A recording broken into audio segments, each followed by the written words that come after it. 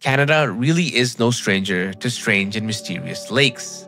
But as I continue to do research and make videos like these, there's one lake that keeps popping up in my mind that I think is probably the most unique and mysterious of them all.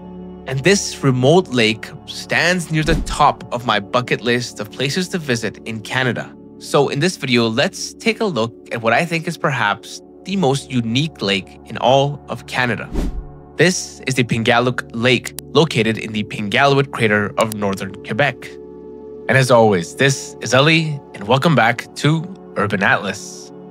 The Pingualuit Lake sits in the northern regions of the Ungava Peninsula, approximately 200 kilometers from the shores of Hudson Bay, and approximately 100 kilometers from the Hudson Strait.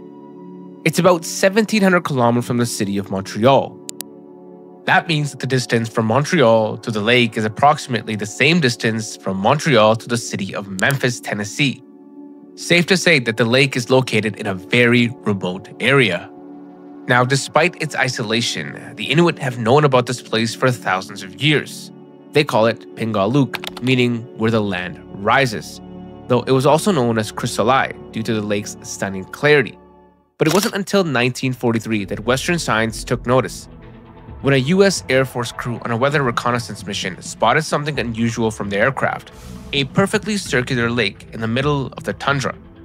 Initially called the Chubb Crater after the pilot Frederick W. Chubb, it was later renamed to New Quebec Crater and finally given its proper Inuktitut name, Pingualuit, in 1999, recognizing the indigenous people who knew this place long before any aerial survey.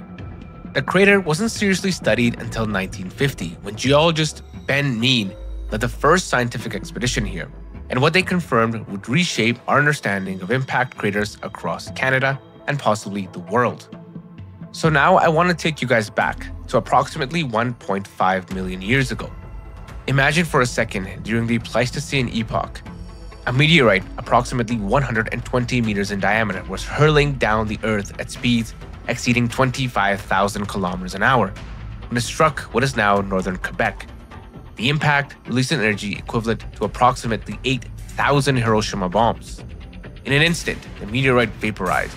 The bedrock, composed primarily of Precambrian granite and gneiss that are over 2 billion years old, was pulverized, melted, and thrown outward in every direction. The impact crater created roughly a 3.4 kilometer diameter crater of excavated rock to depths up to several hundred meters. Interestingly, the crater rim rises approximately 160 meters above the surrounding tundra, and the crater floor sits about 400 meters below the rim's highest point. The closer you look here, the more you realize that geology tells a violent story. Scientists here have identified shocked quartz, a mineral that only forms under the extreme pressures of meteorite impacts or nuclear explosions. They found impact breccia, a chaotic mixture of shattered rock fragments fused together by the heat of the impact. And if you look closer, there are microscopic features in the rock called planar deformation features. These are essentially tiny fractures that serve as fingerprints to large scale explosions, particularly those caused by meteorites. Now, what makes Pingualuit particularly interesting and valuable to scientists is its pristine preservation. Unlike many impact craters, it hasn't been significantly eroded or filled with sediment. The circular shape remains nearly perfect, one of the most geometrically pristine impact craters on Earth.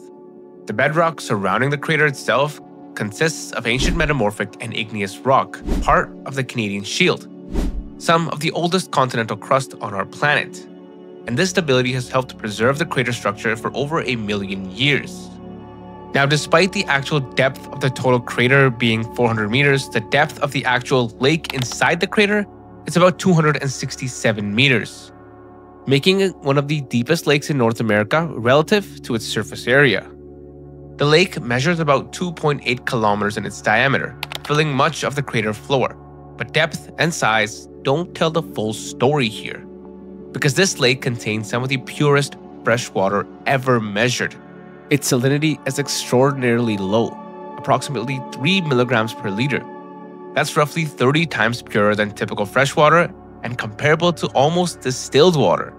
The water is so transparent that visibility can exceed 35 meters, rivaling the clearest tropical seas on our planet. But that makes you think, how did such pure water accumulate here? Well, the answer lies in its isolation as well as ice. You see, the lake has no inlets or outlets. It's entirely fed by rain, snow, and the melting of ice. The crater walls are completely impermeable, preventing groundwater seepage.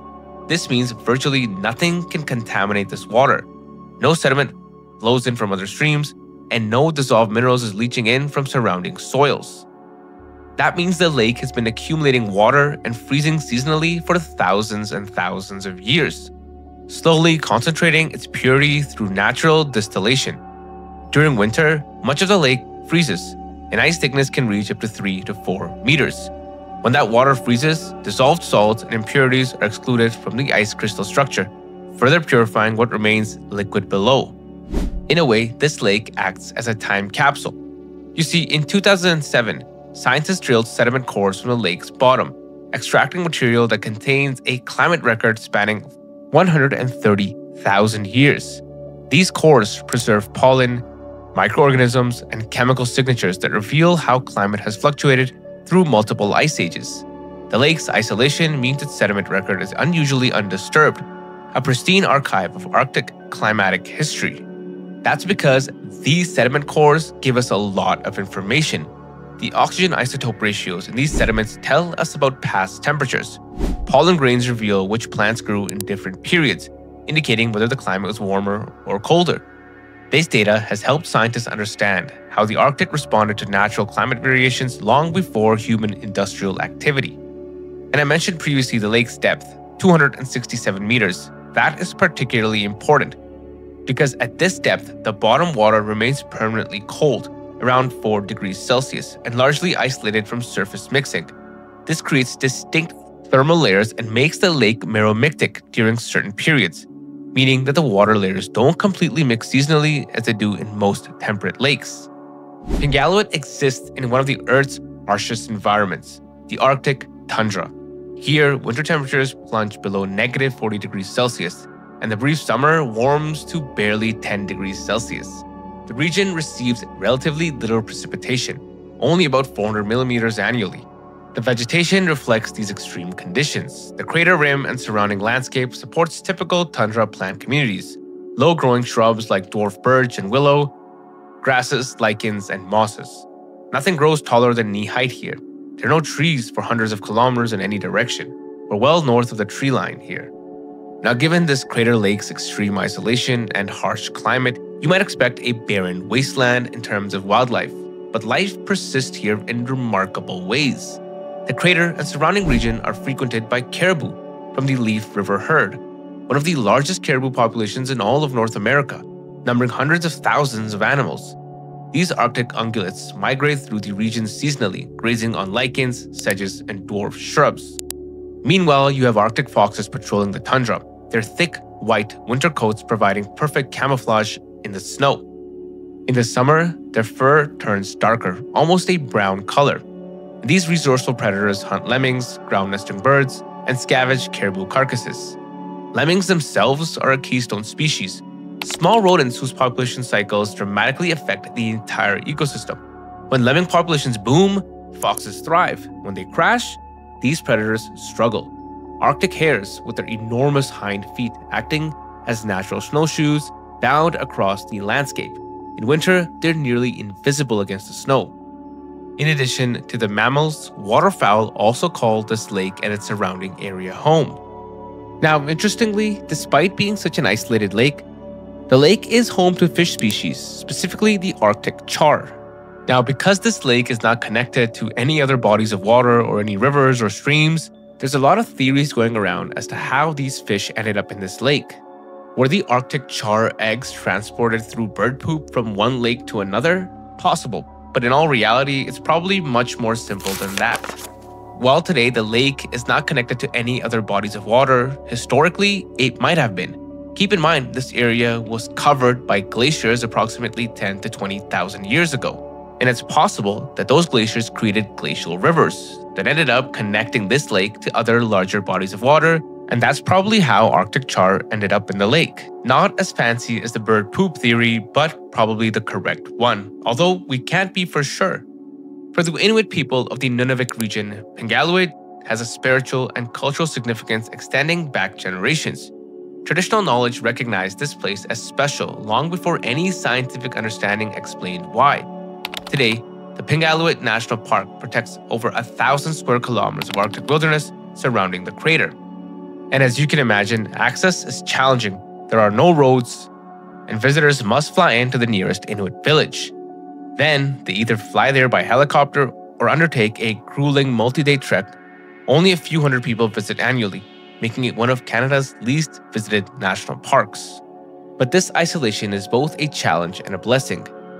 While the isolation limits economic opportunities for the local communities, it also protects the crater from human impact and degradation. And thus, the Pingualuit crater and the Pingualuk Lake remind us that the Earth is part of a dynamic solar system, subject to bombardment from outer space. And as always, if you like this video, give it a thumbs up, comment below what you'd like to see next, subscribe to my page if you haven't done so already. The vast majority of my viewers are still not subscribed to my channel. So please, if you like content like this, hit that subscribe button. It'll really make my day. I'll catch you guys in the next one. Peace.